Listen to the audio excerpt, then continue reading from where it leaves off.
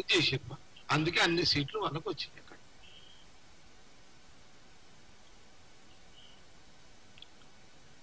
ఇక తెలంగాణలో ఎనిమిది కొట్టేవారు. నెక్స్ట్ నాకు అనిపించింది ఏంటంటే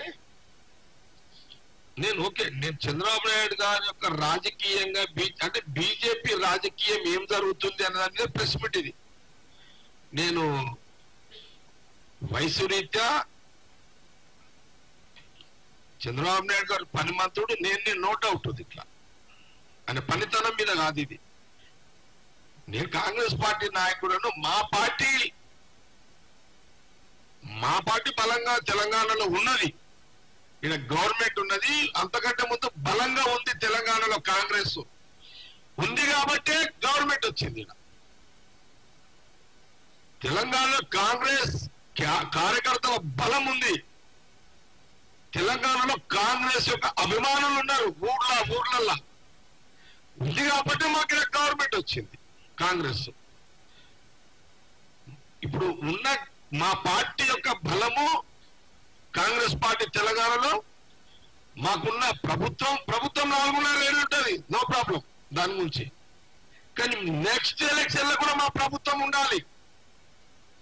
అది కాంగ్రెస్ పార్టీ ఆలోచన. కానీ బీజేపీ ఎట్లయితే ఆంధ్రప్రదేశ్ మీద గేమ్ ఆడిందో పొలిటికల్ గేమ్ అట్లా ఇప్పుడు తెలంగాణ మీద గేమ్ స్టార్ట్ చేసింది. ఆంధ్రప్రదేశ్లో పవన్ కళ్యాణ్ గారితో జనసేన పార్టీతోటి టీడీపీని మేనేజ్ చేసి అక్కడ సక్సెస్ అయ్యారు వాళ్ళు బీజేపీ. తెలంగాణ రాజకీయాలకు వచ్చేసరికి ఇక్కడ టీడీపీని ముందు పెట్టింది అక్కడ Pawan Kalyan background BJP alliance. ఇక్కడ ఇప్పుడు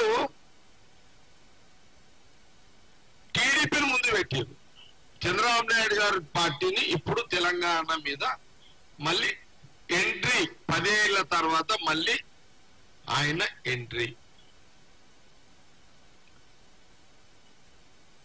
బీజేపీ డిజైన్ వాళ్ళ డయాగ్రామ్ పొలిటికల్ డిజైన్లో ఇక్కడ పాత్ర పోషిస్తున్నది చంద్రబాబు నాయుడు గారు. సపోర్ట్గా జనసేన పవన్ కళ్యాణ్ తెలంగాణలో. ఇట్లా.